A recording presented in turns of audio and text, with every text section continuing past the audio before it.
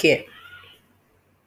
Oh, what I know about care is like uh, care is a uh, is is a passion. What I mean by passion is like you see someone that need help and sort of no, this person needs to be helped, and uh, you are in position or you know what it takes to be in that position of that person of that person.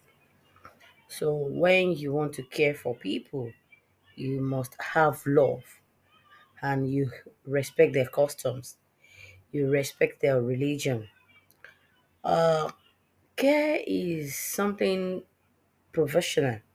It's something that has to do with enthusiasm, like you love that you love to do it. So it's a profession that entails belief what you believe in person. Oh, you want to make the person okay.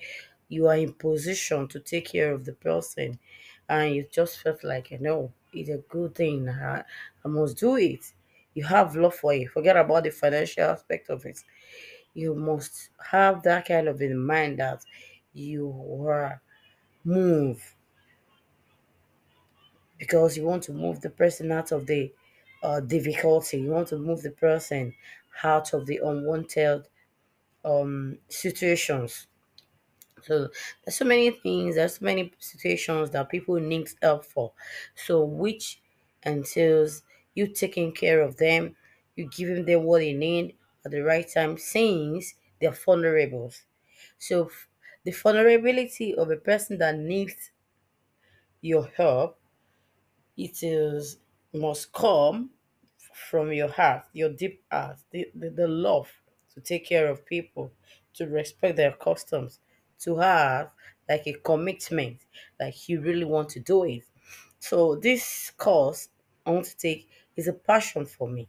It's a passion to know how do I want to do it, what to do at the right time, and what to give to them.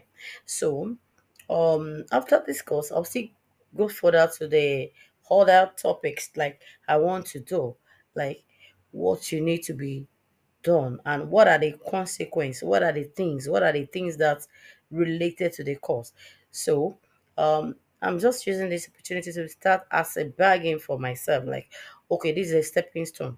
I want to know what love what care and what passion about uh, a, a social need of, a, of an individual. So it's it doesn't care doesn't it's it's not a limitation to me.